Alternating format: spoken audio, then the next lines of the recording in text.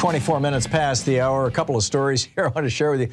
The first, it, I, you know, I thought all the George Santos stuff, like like last week when I, I shared with you that when uh, he put up his official congressional website, paid for with your tax dollars, at uh, santos.house.gov, it said that last year, last December, before he was a member of Congress, he voted against the omnibus spending bill.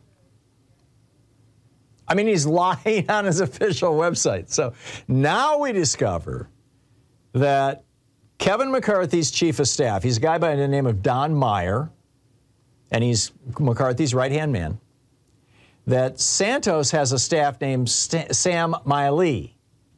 And Sam Miley was calling rich Republicans saying that he was Dan Meyer. He was Kevin McCarthy's chief of staff. And he was calling on behalf of the Santos campaign to raise money for George Santos, our great Republican, you know, the neurosurgeon, the MIT graduate, the guy who won the Nobel Peace Prize. We are trying to raise money for this guy to become a member of the U.S. House of Representatives. And they raised $3 million a GOP political strategist said, We were duped. you think? Amazing. Meanwhile, Marjorie Taylor Greene, in all probability, is going to be a member of a new committee. This, this is um, uh, based on a, uh, a, resolution out of the, uh, uh the House Republicans to quote, grant Mr. Jordan's panel the power to receive the same highly classified information that intelligence agencies make available to their oversight committee, the House Permanent Select Committee on Intelligence. That's a, that, that quote is from the New York Times, Charlie Savage and uh, Luke Broad, Broadwater.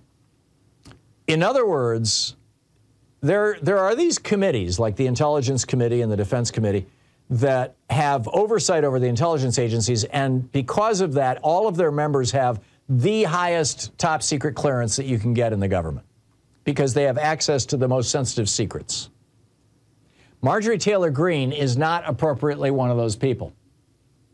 But in exchange for her vote, apparently, and her support, uh, and, and Donald Trump, you know, uh, working with her, apparently Kevin McCarthy has cut a deal where she will be on one of these committees that will have access to these top secret this top secret information about our spies in Russia, about our spies in Saudi Arabia, about the way that we gather intel. All of this stuff is going to go to Marjorie Taylor Greene, and I'm concerned that she's going to give it to Donald Trump, and he's going to he's going to monetize it. He's going to figure out a way to get another billion dollars out of the Saudis.